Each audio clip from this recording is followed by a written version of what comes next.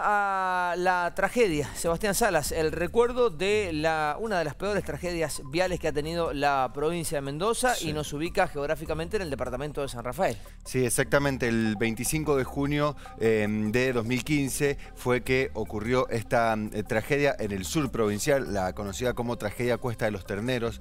Para aquel que no lo recuerda, era un colectivo donde viajaban muchos menores de edad. Ellos eran oriundos de una escuela de baile de Buenos Aires y se encontraban en el sur provincial, justamente participando de algunos certámenes de baile y cuando recorrían esa zona tan sinuosa, tan, tan compleja que es la Cuesta de los Terneros, el conductor termina volcando el, mm, el colectivo y terminan muriendo 15 de sus ocupantes, incluido el chofer del propio colectivo. Eh, un recuerdo que sigue latente, sobre todo porque hay una investigación que todavía no llega a juicio, pero que está a muy pocos pasos. Ustedes dirán, ¿quién está imputado en esta causa? Si el conductor termina perdiendo la vida? Bueno, el acompañante del chofer y también la esposa del conductor, que al mismo tiempo era una de las dueñas de la empresa de transporte.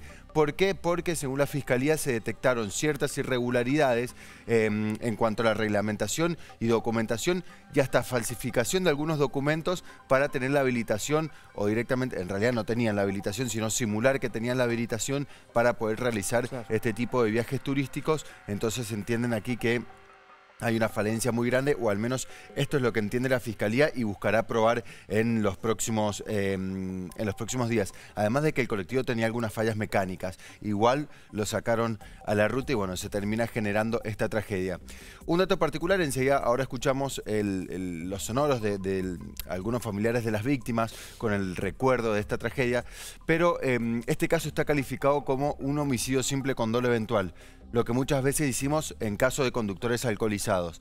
¿Qué es lo que entiende la Fiscalía? Bueno, que tanto, eh, o que los dueños y responsables de esta empresa sabían que largando un colectivo hacia la ruta eh, podían causar una tragedia y no hicieron nada para evitarlo. Acá hay un dato particular porque en los últimos días se modificó la ley de juicios por jurado y los homicidios simples van a juicio por jurado. Así que de confirmarse que la causa va a juicio con esta calificación legal, será un juicio por jurado. Muy interesante, pues podría ser uno de los primeros juicios por jurado, eh, digo, integrado por 12 ciudadanos como cualquiera de ustedes, que se resuelva sobre un accidente vial y no sobre un asesinato como ya hemos tenido varios desde 2018. Escuchamos el recuerdo de este trágico hecho ocurrido hace ya siete años. Se trata de uno de los accidentes viales más graves ocurridos en la provincia. La tragedia de la Cuesta de los Terneros dejó 15 víctimas fatales y 14 heridos graves y otros 15 lesionados.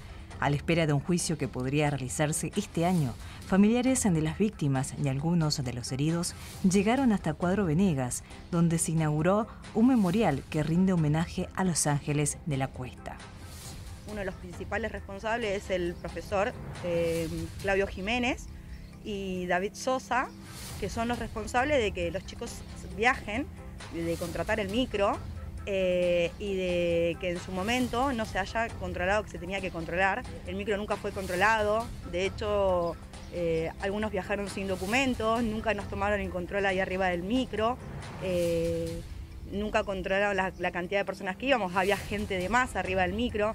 El 10 y el 11 de julio, el señor Claudio aparentemente viene a bailar de vuelta con Rafael. Jurado. Eh, como jurado. Nosotros fuimos a la costa, hicimos un scratch, no por los chicos que bailan, porque la verdad que nuestros hijos, nuestros nietos bailaban y era su pasión. Pero este tipo lucra con eso. Como queremos comprobar que el tipo este no era la primera que viajaba con los choferes estos, con los micros estos adulterados, y sigue haciendo lo mismo. A los tres meses lo hizo, después de la tragedia, y no sé si esta vez lo va a hacer de vuelta. Nuestro hincapié es que este tipo deje de hacer lo que está haciendo, negocio y lucrando con la vida de todos los que viajan con él. El expediente penal que investiga a la fiscal Andrea Rossi tiene como imputados a Marcia Villagra, dueña de la empresa del colectivo y esposa del chofer fallecido en el siniestro, y a Jorge Pinelli, padre del conductor y segundo chofer, quien salvó su vida de milagro.